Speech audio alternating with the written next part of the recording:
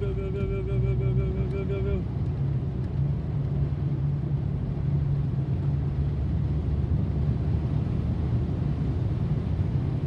It's gonna slow down. I know. I'm just trying to get in his wake because he's pushing all the water away. Yes, He's I know making it- Slow down right here because you're out of the water. Yeah. So